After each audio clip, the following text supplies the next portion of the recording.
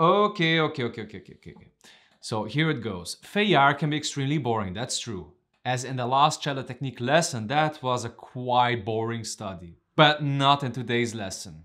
Hi everyone and welcome back to another cello technique lesson. In today's lesson we're gonna cover and run through study number 25 of the great cello method by Louis Feuillard, Studies of the Young Cellist. It's a wonderful study, it's full of nice shiftings, it's nice, you know, to building some phrases. It's good to work on intonation, the sound, and there are so many things you can find here in this wonderful exercise. So get ready for this one. Grab a journal where you can note some things down or take your cello and let's do this because this one is gonna be a nice one. Before we continue with this video, if you are new here, well, welcome. I'm Ilia Laporev Cellist and on this channel I produce cello technique tutorials as well. I give some tips and tricks to level up your practicing and so on. If this is what you're looking for or what you want, then consider to subscribe. Okay, now let's dive right into the exercise.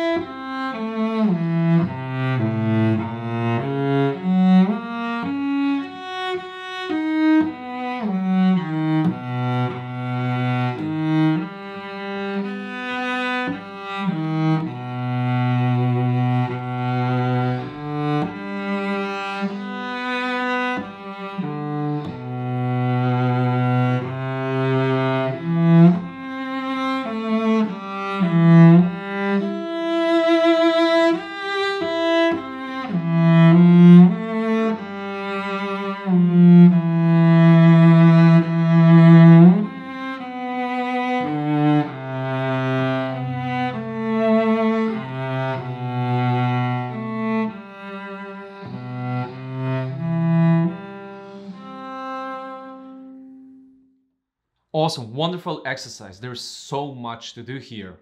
First point for the left hand, we've got some nice shiftings over here in this exercise. This exercise is actually about shiftings most of the times.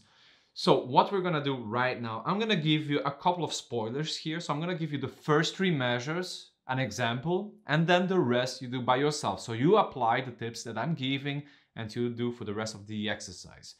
So let's go with the first measure of this exercise. So there we go. We have the first note, right? Then the second note, and then we have a shift. This one, right? So what happens? What people do often is this. So they slide with the pinky. Mm, doesn't sound really nice, isn't it? So you need, what I like to do is that you need to slide with your first finger and then on the right timing, you hit with the pinky. Again, slower.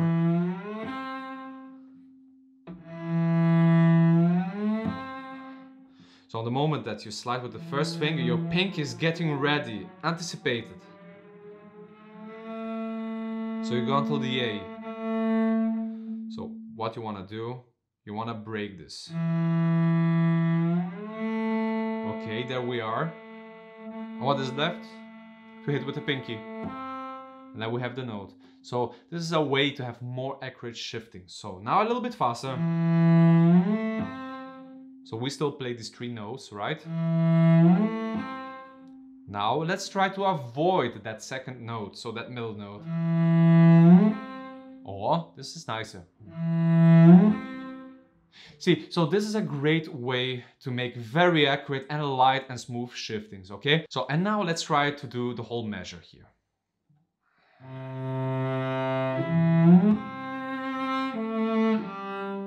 See how accurate? Because if you do it the other way, sliding with the pinky, happens this. See, not accurate, it sounds ugly, and it just doesn't sound nice, right? Okay, now we go to the second bar. Second bar, here we have then... Uh, right? But we have a shifting over here. So the same thing. So we're gonna slide with the first finger and then we hit with the right timing with the second finger. So one more time. So again, you can do that with the three notes. So in this case, we go until the F sharp. Because the G, the second finger, it's very close, right, to the F sharp just to know where we have to go, right? Now let's try to avoid that middle note. Aha, good. See how clean that sounds? Now let's try the whole measure. Wonderful. Okay, so I just showed you the first two bars, which is the same way of shifting. So sliding with a first finger and then you hit or either pinky, ring finger, middle finger, it doesn't matter. So now we go to the third measure and that's the last measure I'm gonna give to, to you. The rest it's on your own. So what is gonna be your job here in this case for shiftings? You find where all the shiftings are and you're gonna practice only the shiftings, right? Once you practice it the way that I told you, then you try the whole measure. If the whole measure works out, then you go from one measure before and so on until you have the whole exercise in your hand. So that would be the process. Right, now let's jump to number three, so measure number three. So here we have this. Uh...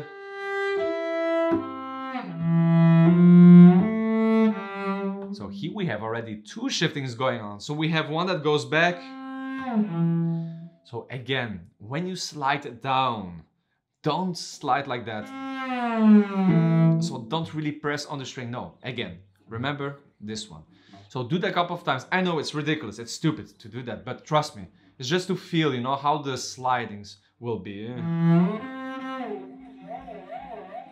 So I want that kind of feeling. So light, smooth, quickly. Now the second thing in this exercise, left hand articulation. Yeah, you got it. Left hand articulation is extremely important in cello playing. Why is that? Well, because if you don't have a good articulation, so strong fingers and hammering fingers, then your intonation is going to be so out of tune because you don't have accuracy. And accuracy you only have when you are having articulation with your fingers. So let me show you an example of articulated fingers and another example without articulation.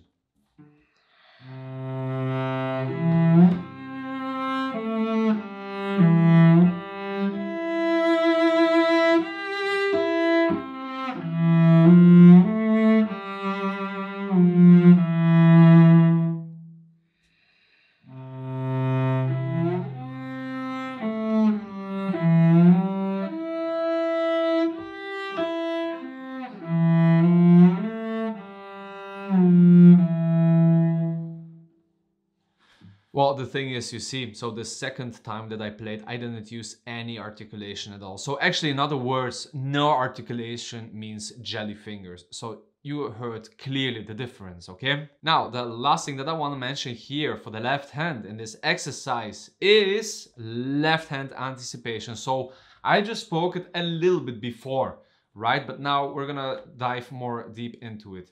So what do I mean with the left hand anticipation? Your left hand always needs to prepare for the next note. This is very important. So I'm gonna show you an example where uh, you have a good left hand anticipation and when you're not anticipating your left hand. So let's go with the first example. Mm-hmm.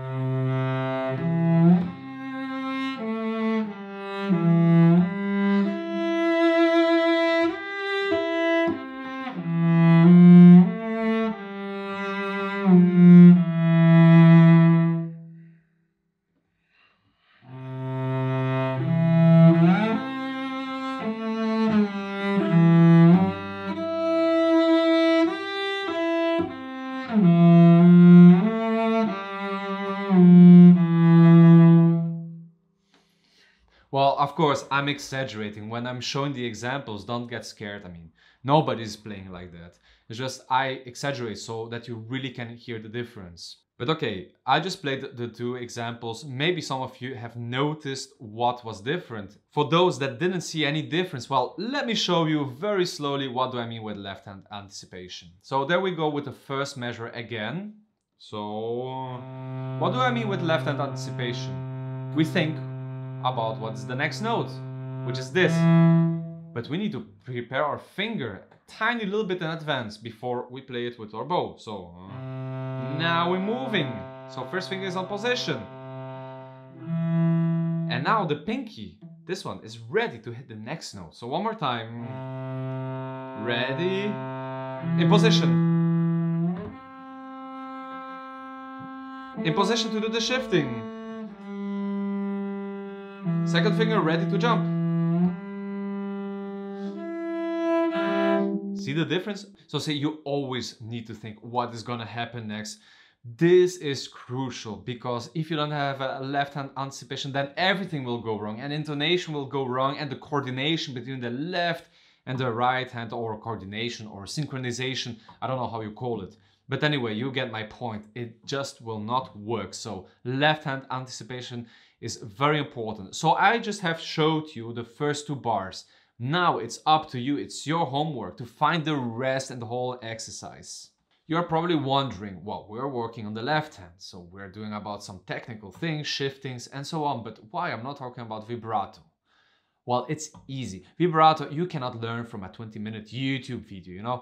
Vibrato is something that needs time and is very personal. But in the near future, I'll make a video about vibrato where I'm gonna share some thoughts about it and I'll share a couple of tips. Alright, cool. So that was about the left hand. Now we're gonna go to the right hand. So there are many cool things happening here also on the right hand not very cool, but also extremely important if you want to take your sound and quality to the next level. So let's dive right into it and let me give you a couple of tips here on what you need to pay attention. So before we're even going to play this exercise, we need to check in the score what is written because this is important. You need to analyze first of all when you need to pay attention. So we have written here as the tempo andantino. Andantino, if you don't know what it means, go to Google, search it, and you're gonna find it. But Andantino means, you know, a walking tempo. So not too fast, easy going. So more or less the tempo that I was playing in the example. Next thing, very, very, very important. We have a letter written under the first note, a letter G. G, for the ones that know me already, you guys know what it means. For the new ones here, for the newcomers, well, G means ganzer Bogen. Ganzer Bogen is German, and this is for the whole length of the bow in English. So for this exercise, you're gonna use, you know, plans of bow. So really, this is important because if you are limited, if you don't use too much bow, mm, it sounds a little bit blocked. So it's important, you know, to use your whole length of the bow in order to find this deep, round, beautiful sound. So let's see how the exercise will sound when we're gonna use the whole length of the bow and when not. Let's go.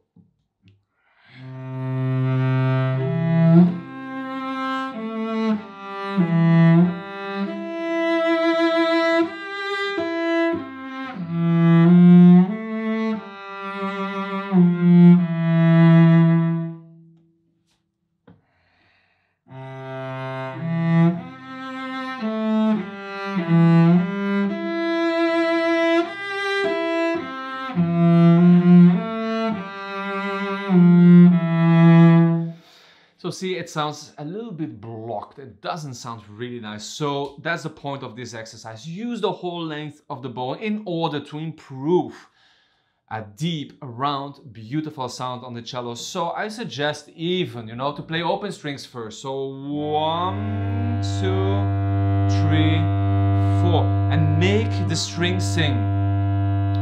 Help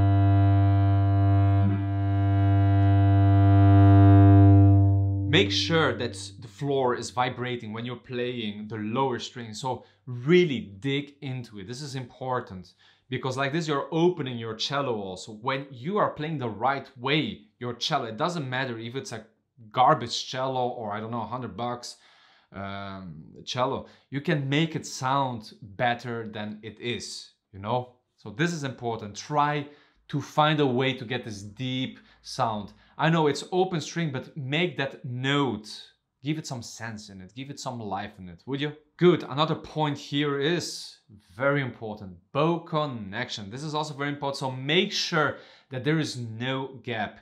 So that's why, again, open strings are excellent for that. So one, two, three, four, one, two, three. See this? Mean, to do perfect ones are really like tricky, but like try to make it, you know, as glued as possible. Let's say it like this. So let's do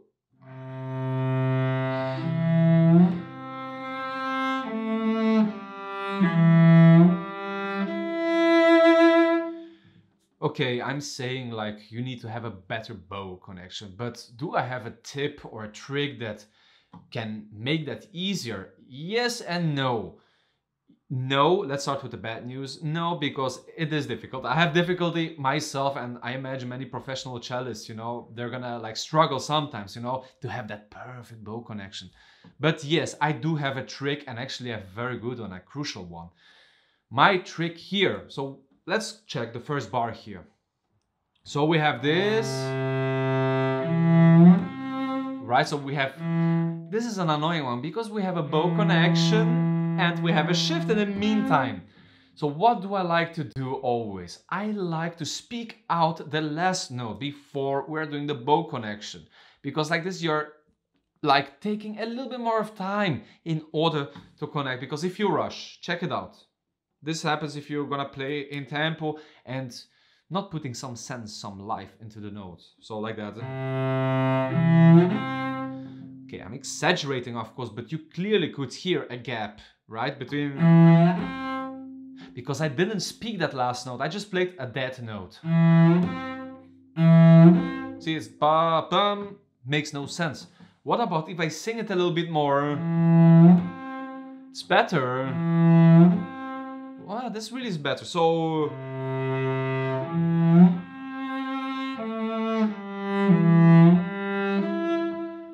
So see how this sounds nicer. So what I want you to do here in this exercise, so every time observe, when you have a bow connection, play maybe the last note and try to sing it, make it expressive and then try connect to the next one. Do that for the whole exercise. This is gonna be your homework again. And then you're gonna see how this will level up, how your bow connection is gonna be better. And it's just very simple. Make the note alive.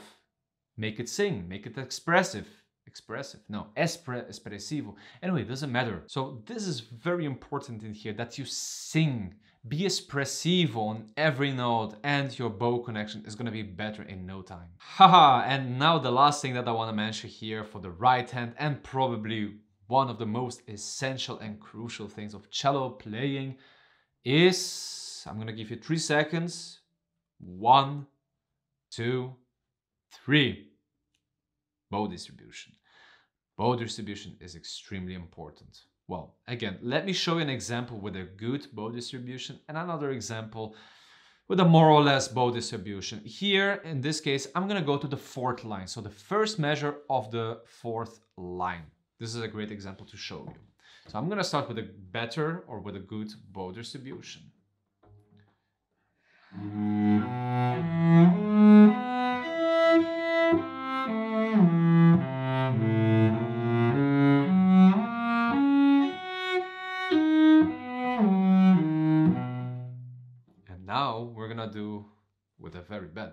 Distribution.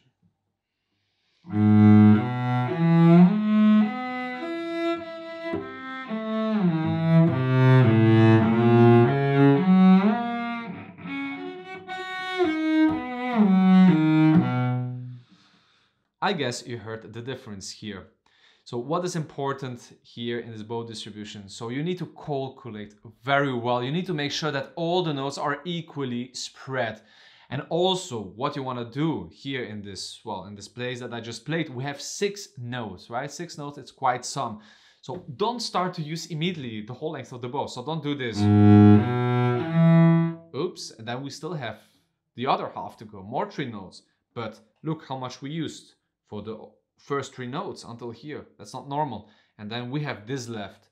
Then of course we start to press and then we get this sound. So that's why open strings again. Now in open strings, let's count until six this time. So if the exercise goes like this, one, two, three, four, five, six. Let's try with the open string. So one, two, three, four, five, six. So very even. What you can do, if this is too hard for you, you can split it first. So let's split it by three and three. So one, two, three, stop. And you control on the mirror or whatever, if you're recording yourself on video, check where you stop. If you stop more or less at the middle, then you're right. If you stopped around here, mm -mm. and if you stopped over here, no, no way. You need to stop near the middle. So one more time. One, two, three, stop. Where am I? In the middle. So I have a lot of space to do the rest. Four, five, six, stop. And then you do the way back. One, two, three, stop. Four, five, six, stop. Okay, you think you understood? Then you can try to do the whole thing. So one, two, three, four, five, six. Perfect, wonderful. One more time. One, two, three, four, five, six. Wow, gorgeous. So like this, you practice on open strings, then you try this passage. So you can do the same. So with a stop. One, two, three, stop. Okay, middle of the bow. Now the rest. Okay, now we go back. Uh. Okay, I think I managed somehow, so let me try to play the whole thing.